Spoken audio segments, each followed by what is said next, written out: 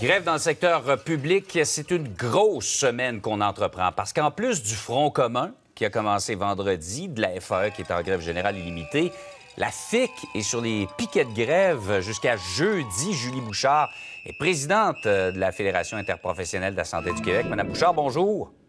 Bonjour, M. Guérin. D'abord, troisième séquence de grève après le 9 et 10 et 23 et 24 novembre. Vous dites que cette grève-là est nécessaire.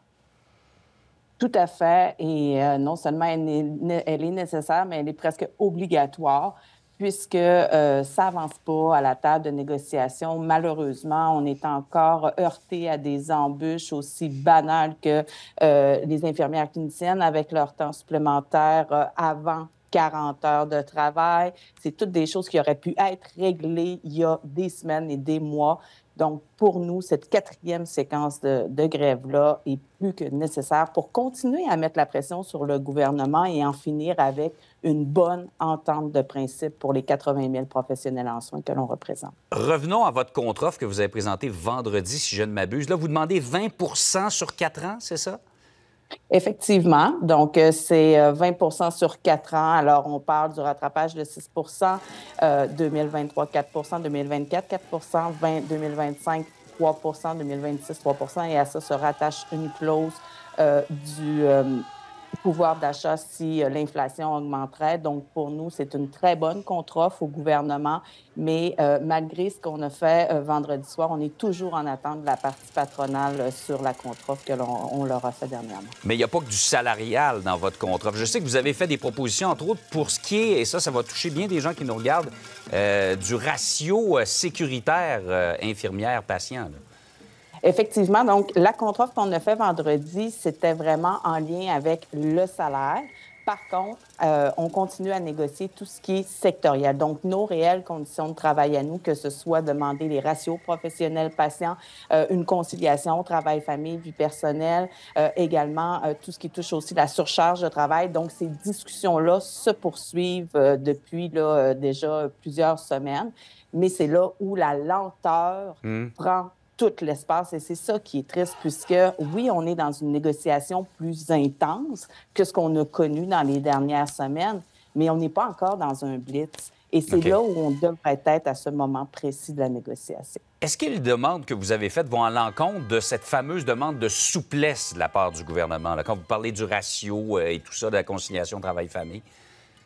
Bien, pour ce qui est de, des ratios professionnels patients, ce n'est pas de la souplesse, au contraire, c'est des soins directs aux patients et c'est aussi une condition de travail qui est réellement importante pour nous, les professionnels en soins. Maintenant, si on parle de flexibilité, pour nous, la flexibilité, c'est quand on a accès à nos horaires, quand on a une mainmise sur nos horaires de travail, qu'on peut les connaître plusieurs semaines à l'avance pour pouvoir nous aussi se planifier des rendez-vous avec nos enfants ou encore des choses personnelles qu'on doit y mettre. C'est lorsqu'on demande un congé plusieurs semaines à l'avance qu'il soit à l'horaire et qu'il ne soit pas retiré à la dernière minute parce qu'il n'a pas été traité par la gestionnaire. Par contre, ce que le gouvernement veut au niveau de la flexibilité, ben oui, c'est de déplacer une infirmière auxiliaire d'un établissement à l'autre sans qu'elle ait eu la formation nécessaire pour le faire, mais c'est aussi faciliter le travail des gestionnaires du réseau. Et moi, mon travail et le travail de l'ensemble des personnes à la FIC, c'est de négocier de bonnes conditions de travail pour les 80 000 professionnels en soins et hmm. non simplifier le travail qui est euh, fait euh, de la part des gestionnaires du réseau. Bon, maintenant, euh, vous dites, un peu comme le Front commun, ça va. Vous sentez pas l'urgence, disons, dans la façon de travailler du gouvernement. mais dites-moi, est-ce que, le conciliateur, à ce moment-ci, ce serait de mise ou il est encore trop tôt pour parler de ça? Pour nous, il est encore trop tôt pour un conciliateur parce que nous, on le voit euh, entrer là, en action du moment où il n'y a plus aucune discussion de possible. Et pour l'instant, même si c'est plus lent qu'on l'espère, même si euh, on ne voit pas assez d'avancées significatives, reste qu'on est encore capable de hmm. discuter. Il y a quand même une certaine ouverture.